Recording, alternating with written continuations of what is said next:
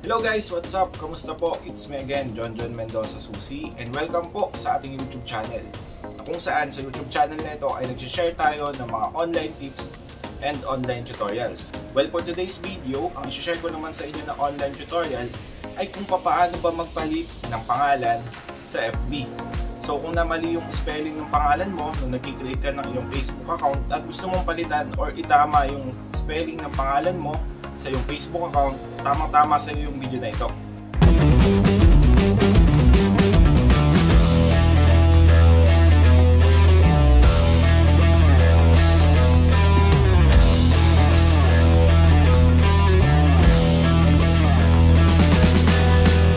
Okay guys, bago tayo magsimula, kung bago ka pa lang sa YouTube channel na ito, magpapakilala muna ako. Ako nga pala si John John Mendoza Susi, na kung saan sa YouTube channel na ito ay nag-share ako ng mga online tips and online tutorials. Kaya kung hilig mo ang mga ganitong content, ay mag-subscribe ka na. Okay guys, balik tayo. So paano nga ba magpalit ng pangalan sa ating Facebook account kung sakaling na mali yung pagkakasulat natin or gusto nating itama yung spelling ng ating pangalan sa Facebook. So simple lang guys, una muna kinakailangan lang natin i-login yung Facebook account natin sa ating cellphone at sundan nyo lang to. Para magpalit ng pangalan sa FB, ganito naman yung gagawin natin. So una muna, punta tayo sa ating Facebook application. So pindutin lang natin, be sure na nakalagin na kayo. Then para magpalit ng pangalan sa FB, ganito lang ang gagawin natin. Punta lang ulit tayo dito sa may hamburger icon, yung may tatlong dash na to. Yan. Then, scroll down tayo. Then, punta tayo dito sa settings and privacy. So, kung magpapalit tayo ng pangalan sa ating Facebook account, pupunta tayo dito sa settings and privacy. Then, punta natin tong settings. Pindutin lang natin. Yan. so, dito, account, update your info to keep your account secure. So makikita nyo dito yung pinakaunang selection, itong personal and account information. Ito yung isi-select natin para makapagpalit tayo ng pangalan. So pindutin lang natin. Yan, personal and account information. Makikita nyo na dito yung name, contact information, identity confirmation, account ownership and control. So kung magpapalit tayo ng pangalan sa ating Facebook, click lang natin tong name. So dito, uh, i-enter na natin yung first name natin, middle name, last name. So nasa sa inyo kung ano yung gusto nyong ilagay dyan. Which is yung mga information nyo nga. Katulad ng first name, middle name. So kung may gusto ko yung i-correct sa pagkakasulat ng pangalan nyo nung nag-register kayo sa Facebook, so dito lang kayo pupunta para maitama nyo ang inyong Facebook name. So please note, if you change your name on Facebook, You can change it again for 60 days. Don't add any unusual capitalization, punctuation, characters, or random words. So, yun nga. So, kapag nagpalit tayo ng ating pangalan sa Facebook, so kinakailangan na maghintay tayo ng 60 days bago natin mapalitan ulit. Kaya dapat maging uh, mindful tayo, maging maingat tayo, uh, confirm natin yung tama ba yung mga pinalitan natin.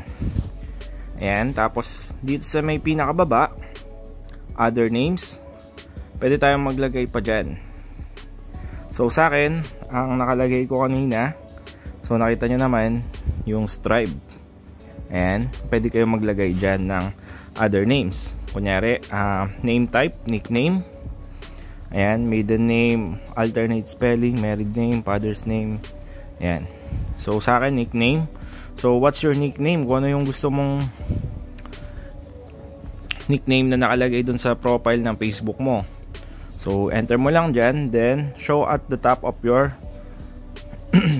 profile. So, nasa sa'yo kung gusto mong makita siya sa taas or sa baba. Yan. Then, kapag na-enter mo na, save mo lang siya.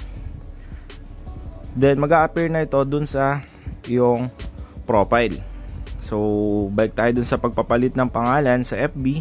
So kapag napilapan mo na, pindutin mo lang tong review change. Yan. Then kapag